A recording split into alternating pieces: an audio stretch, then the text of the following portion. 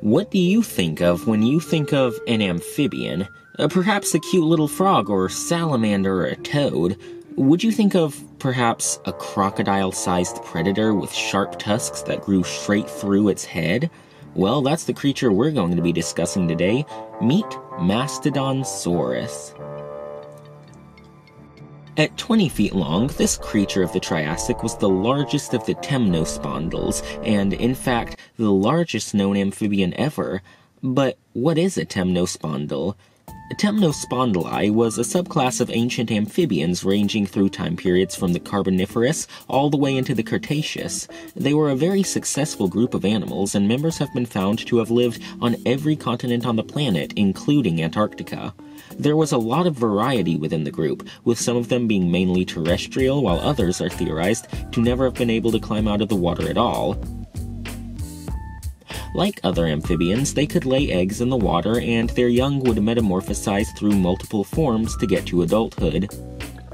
Temnospondyls were a vast influential group and, during the Triassic period, were some of the dominant semi-aquatic predators in their respective environments. Although a large portion of Temnospondyls was wiped out at the end of the Triassic, the group itself survived all through the Mesozoic era and was finally wiped out with the dinosaurs at the end of the Cretaceous.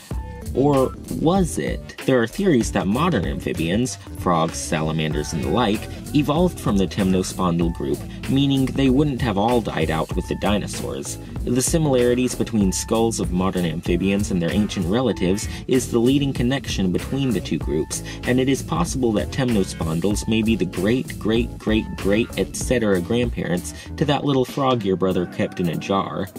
Either way, no matter if they all died a horrible death or if their DNA lives on in toads, the group Temnospondyli is thought to have been eradicated around the end of the Cretaceous, and it lived a long, widespread, and successful life. Like me. I. I hope. Anyway, back to the subject at hand. Hailing from prehistoric England, the largest amphibian to walk the Earth may not actually have walked the Earth at all. Yes, even though the name amphibian literally means something that is both of the water and the land, this amphibian may actually have been completely aquatic. We think this because of the small limbs that weren't all that well developed, and may not have been able to drag its large body and huge head around on the ground. Speaking of the head, this animal had large eye sockets, rows of conical teeth, and two tusks on its bottom jaw.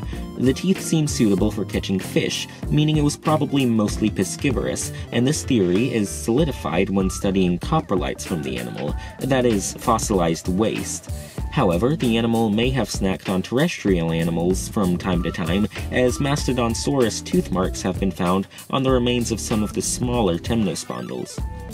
The two tusks on the bottom jaw would actually stick up through the openings of the skull, allowing the animal to close its mouth all the way. It is thought that these tusks may not have been strictly for hunting, and may well have also served a display purpose, as species recognition or sexual maturity.